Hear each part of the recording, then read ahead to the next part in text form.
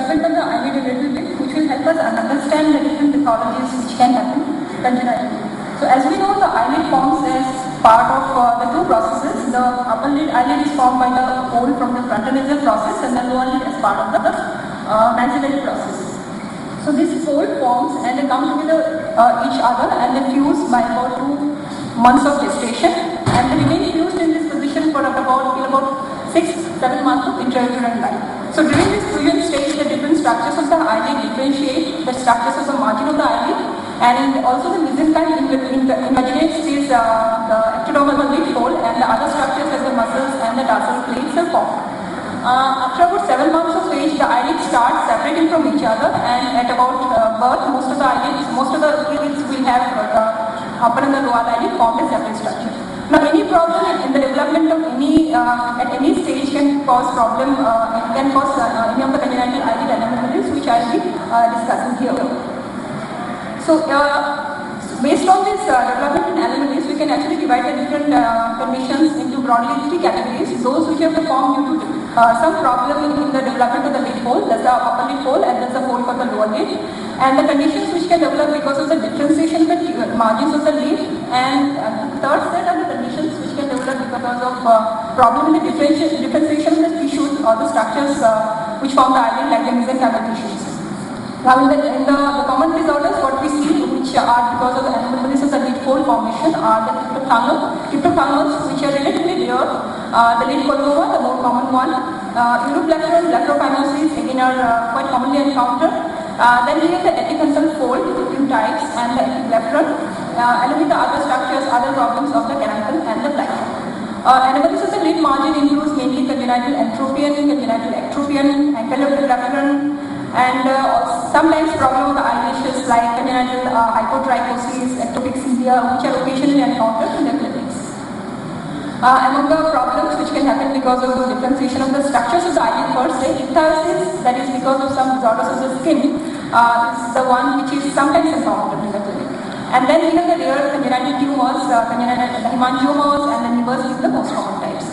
So I'll briefly describe three of these conditions uh, which are commonly seen. Cryptophthalmos, luckily for us, is not very commonly uh, encountered, uh, but it's one of the severest forms of the eyelid, congenital eyelid disorders, and there is problem in the uh, failure or the lid per doesn't form at all or they don't advance at all. So the structures which are dependent on the formation of the lid hole, like the tarsals, Bowen gland, eyelashes, they uh, do not develop at all. Uh, and depending on the severity, it can be divided into a complete type where uh, we do not see any eyelid structure at all. This is the probably the most severest form, and then bilateral congenital cryptophthalmos, uh, where there is no uh, differentiation of the eyelid structure per se, but what we see is that the globe is just covered with a smooth fold of skin. And most of the time these disorders will be associated with some uh, uh, disorganization of the underlying globe also, and sometimes uh, they get a systemic problem or at least a head and neck problem which might not be compatible with diagnosis. The partial cryptophthalmos are uh, the one where the things are little uh, less severe, where we just see some part of the uh, hole has probably not advanced and this is manifested as a fold of skin which is either stuck to the globe medially or inferiorly. Inferior one of the ones which are commonly more commonly seen. Uh, if you have to manage this condition, you need to understand whether we are doing it only for cosmetic purpose or if there is any potential of vision, especially in cases of bilateral complete cases. Uh, if, if, there is some vision potential which we can assess by doing uh, either electrophysiology or by doing a, dazzle reflex, what we call in the clinic, where you just shine a uh, powerful light on the child's eye and if see if there is any squeezing of the eyebrow muscle, if at all some orbicularis is developed, which means that probably there is some underlying uh, development of the globe and there is some vision potential. In those cases, maybe can, can attempt to reconstruct the eyelids, though it's not going to be perfect. And also, uh, since the eyelid here is usually fused with the anterior surface of the cornea, because there is no conjunctival cul-de-sac which is developed, so we need to be prepared to do a on-table grafting also is required. Uh, however, reconstructing the adnexus does not mean the child is actually going to gain vision, because even if you are able to form the eyelid, most of the time they are actually non-functioning eyelids. Uh, the partial ones are relatively easier to treat since at least there uh, might be some, uh, the globes are not really that uh, disorganized as in the complete form. Uh, this kid had and uh, inferior volume which is fused, though the globe was actually non-functional here because of some other problem because he had, uh, he had actually had Lefting syndrome also associated with the facial hemangiomas. Uh, but we could reconstruct the lid here using the upper lid by doing a switch flap. Colobomas are the ones which are probably a little more commonly seen in. They are part of the embryological flap. So we see not only the early defects but also underlying defects of the soft tissues, the bony defects, and they usually form the uh, different lines. They, uh, the, the set of the defects can start right from the forehead, upper lid, lower lid, and go lower down in the face as part of the uh, part of the uh, specific Pickett syndrome. Uh, normally, uh, the upper lid coloboma are supposed to be more commonly encountered. They can be of various severity, can be a small notch, or could be could be complete absence of the whole eyelid. But, uh, the medial part is the one which is more commonly uh, involved. And they are usually isolated defects and easier to treat. The lid one are the uh, ones which are commonly associated with some systemic uh, conditions like Goldenhar syndrome, Treacher Collins, or some other lacrimal system abnormalities. Uh, we need to differentiate between a true coloboma and a pseudocoloboma. A true coloboma is uh, where part of the eyelid including the lid margin and also the underlying structures of the eyelid. Uh, where it is pseudocoloboma, which is in uh, Treacher Collins syndrome, there is uh, no discontinuity of the lid margin per se, only that the ectodermal tissue has formed, but the mesenchyme probably has uh, failed to invaginate the ectoderm. So this is actually commonly manifested as uh, or listed as uh, ectropion, uh, which actually uh, could be a pseudocoloboma. Uh, this is the host of associated condition. Like here you see the whole coloboma running medially. So this uh, child has lacrimal system abnormality, the lower lid coloboma, left palate, left lip. This girl again there is this uh, problem in the differentiation of the nasal process and hence there is an uh, dermoid also associated along the line of the coloboma.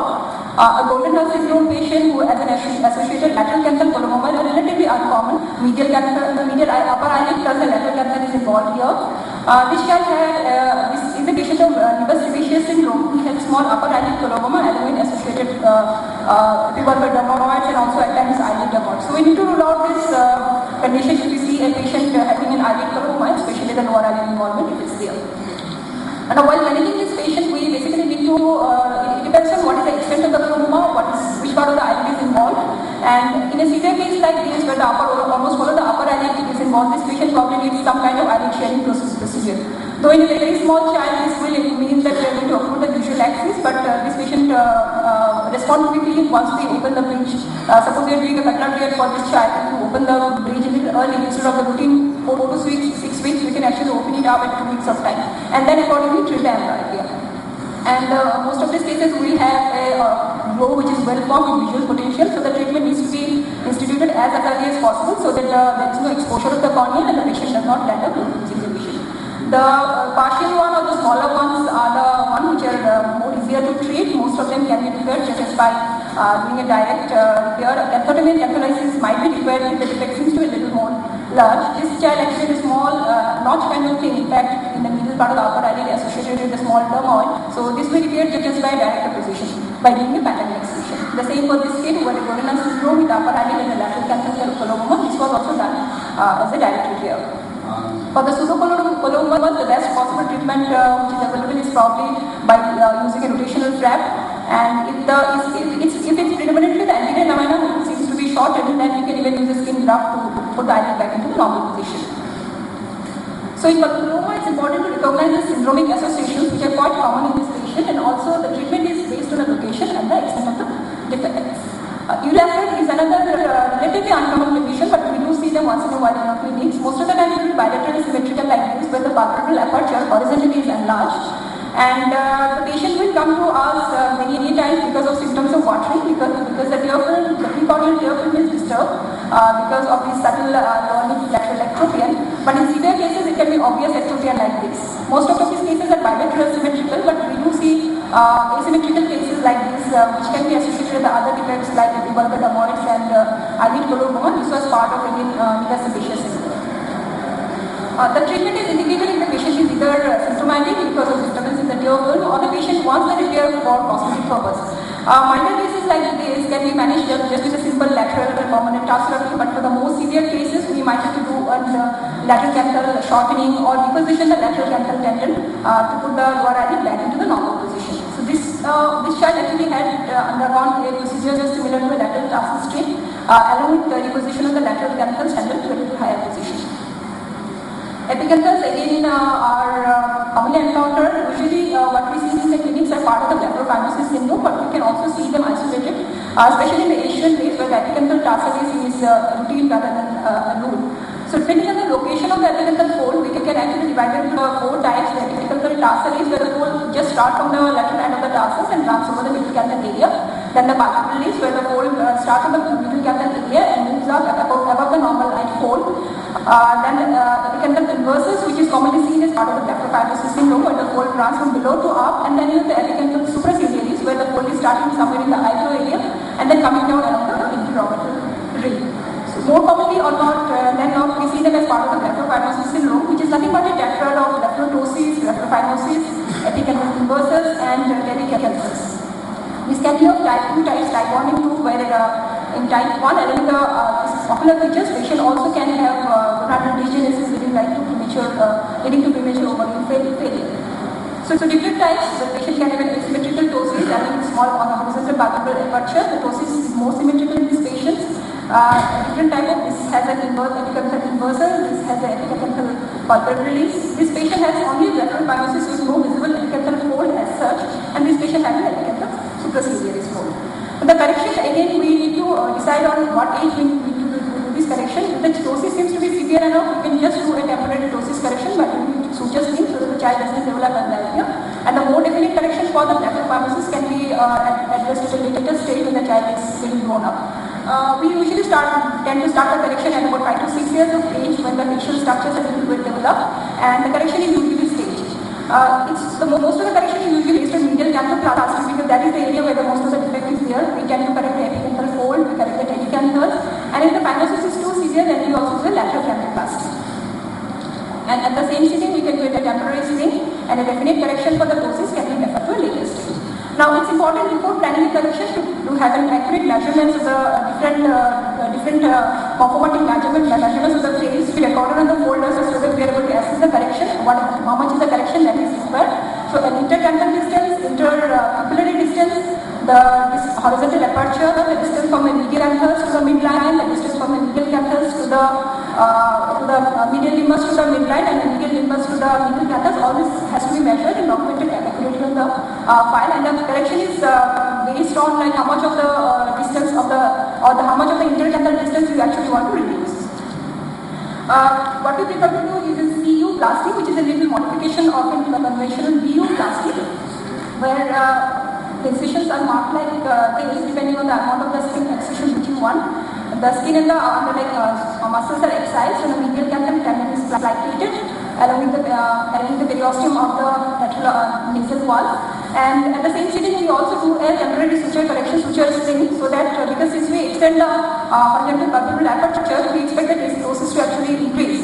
So at the same sitting during the time of the uh, surgery, we do a temporary suture sling and later on the definite correction for the ptosis is uh, planned after about 6 months to 1 year after the first surgery. This is one of the patients who was uh, undergone the same procedure, medial canthoplasty, lateral canthoplasty and the suture sling.